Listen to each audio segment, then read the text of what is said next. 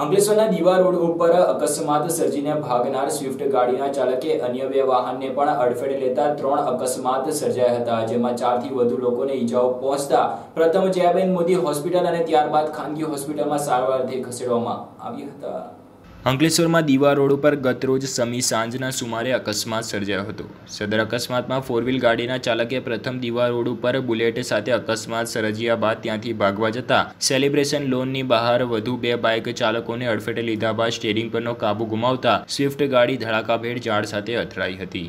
જેમાં ચારથી વધુ લોકોને ઈજા પહોંચતા પ્રથમ અંકલેશ્વરની જયાબેન મોદી હોસ્પિટલ અને ત્યારબાદ ખાનગી હોસ્પિટલમાં સારવારથી ખસેડવામાં આવ્યા છે. અકસ્માતની વિગત જણાવતા એક પ્રત્યક્ષદર્શી એટલે કે ઘટનાને નજરે જોનારના જણાવ્યા મુજબ, અંકલેશ્વરના દીવા રોડ ઉપર સ્વિફ્ટ ગાડીના ચાલક અને બુલેટ વચ્ચે અકસ્માત સર્જાયો હતો. જોકે સદર અકસ્માતમાં સ્વિફ્ટ ગાડીના ચાલકે અકસ્માત સર્જી ભાગવાનો પ્રયાસ કર્યો હતો. જોકે તેણે ભરૂચી નાકા તરફ ગાડી પૂરપાટ ઝડપે હંકારી મૂકી હતી. ત્યારે દીવા રોડ ઉપર આવેલ સેલિબ્રેશન પાર્ટી પ્લોટ નજીક અકસ્માત સર્જી ભાગનાર સ્વિફ્ટ ગાડીને અન્ય વાહનને રોકવાનો પ્રયાસ કરતા તેણે પૂરપાટ ઝડપે સ્વિફ્ટ ગાડી હંકારી મૂકી હતી. ત્યારે ગાડી રોડ પરથી નીચે ઉતરી જતા તેણે સ્ટેરિંગ પરનો કાબુ ગુમાવ્યો હતો.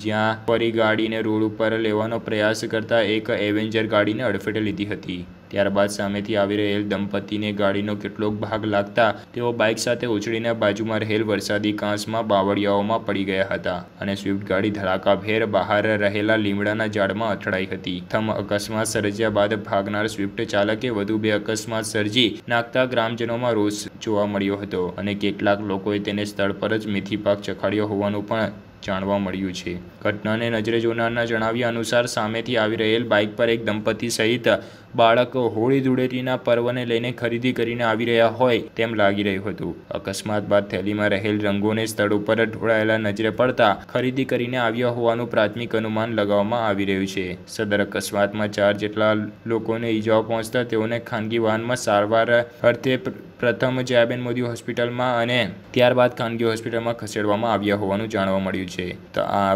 અકસ્માતમાં ઈજાગ્રસ્તોને ફ્રેક્ચર થયું હોવાનું પણ જાણવા મળ્યું છે. અત્રે ઉલ્લેખનીય છે કે અંકલેશ્વર શહેરથી દીવાને જોડતા માર્ગ અત્યંત સાંકડો છે.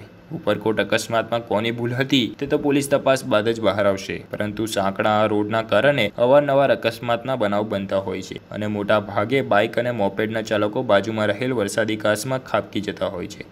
વહીવટી તંત્ર દ્વારા કરોડો રૂપિયાના ખર્ચે વરસાદી કાંસ તેમજ રોડને પહોળો કરવાની કામગીરી ભરૂચી નાકાથી લઈને મારુતિધામ સોસાયટી સુધી કરાઈ છે. પરંતુ ત્યાંથી આગળ છેક નર્મદા નદીના તટ સુધી એક ફોર વ્હીલ વાહન પસાર થઈ શકે તેવો સાંકડો રસ્તો હોવાને પગલે આ રસ્તો અકસ્માત ઝોન તરીકે પરિવર્તિત થઈ રહ્યો છે. રોડની સાઈડમાં રહેલ માટીનું પુરાણ પણ ભારે વાહન ચાલકો ચાલતા હોવાને પગલે તેમજ વરસાદ માં દબાઈ જતાં ભારે વાહનો કેટલીકવાર પલટી મારી જવાના ડરે નીચે ન ઉતારતા હોવાને પગલે મોપેડ અને બાઇકના ચાલકો સ્ટેરિંગ પરનો કાબુ ગુમાવી બાજુમાં રહેલ વરસાદી કાચમાં ખાબકી જતા હોય છે. નોંધનીય બાબત છે કે અંતરિયાળ અને ગામડાને જોડતા માર્ગ હોવાને પગલે છેક નર્મદા તટ સુધી રસ્તો પહોળો થાય તેવી શક્યતા નજીવી જીવી વર્તાય છે. પરંતુ રોડની બંને બાજુ યોગ્ય પેચવર્ક કરાય તો અકસ્માતમાં ઘટાડો થઈ શકે તેમ છે.